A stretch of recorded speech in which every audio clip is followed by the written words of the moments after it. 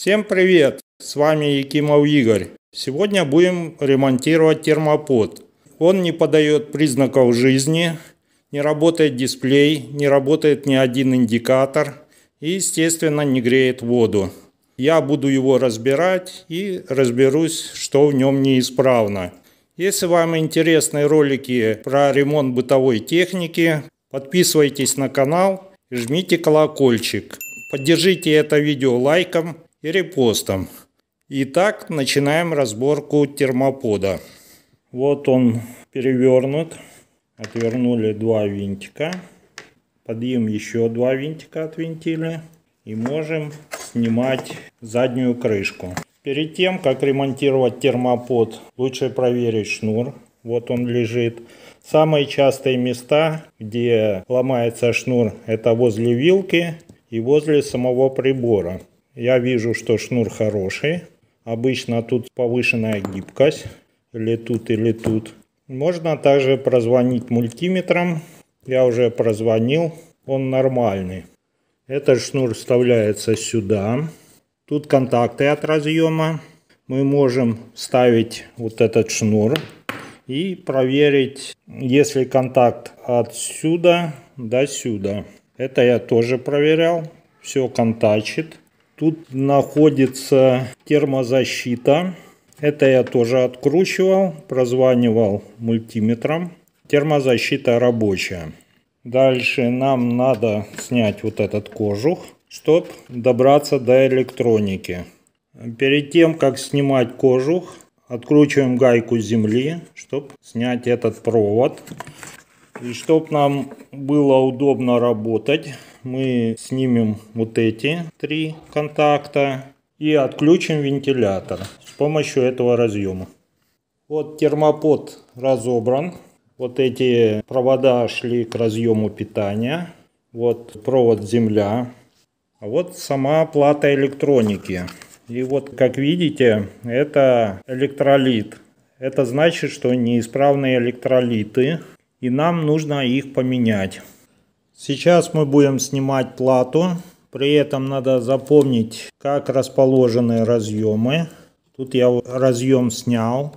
Также вот эти разъемы снимаем. И откручиваем вот эти четыре самореза. Вот я снял плату. Отвинтил 4 винта. Она снялась. Не обязательно вынимать эти разъемы.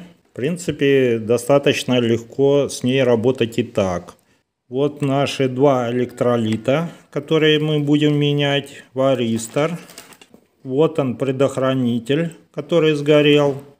А выпрямительный мостик находится сзади. Вот он. Его я тоже буду менять. Вот пока греется паяльник.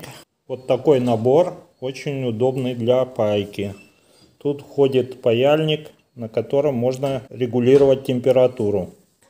С помощью тестера прозвонил. Из двух конденсаторов один закорочен. Варистор целый, не закорочен.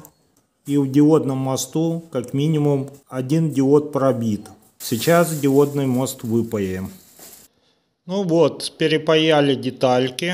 Стоит новый выпрямительный мост. Поставили два конденсатора новых. Поменяли предохранитель. Заодно поменял варистор, хотя он был целый. Вот плата с другой стороны. Вот они два конденсатора. Вот он варистор. И вот он предохранитель.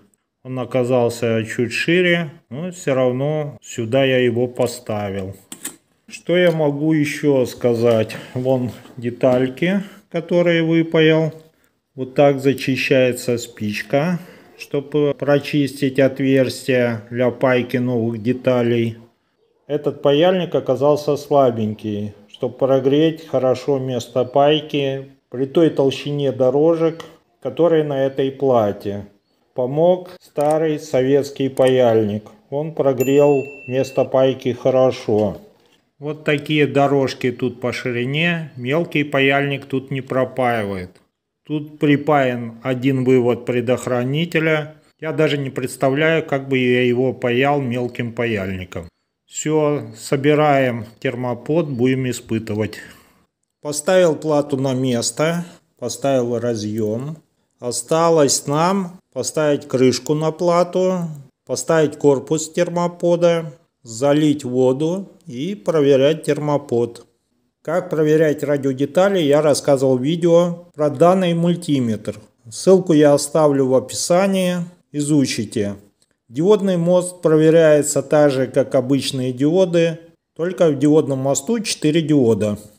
Перед закрытием термопода не лишне проверить, чтобы у нас все разъемы были подсоединены, чтобы все гайки и болты были затянуты. Подключается разъем питания посередине желто-зеленый провод, это земля.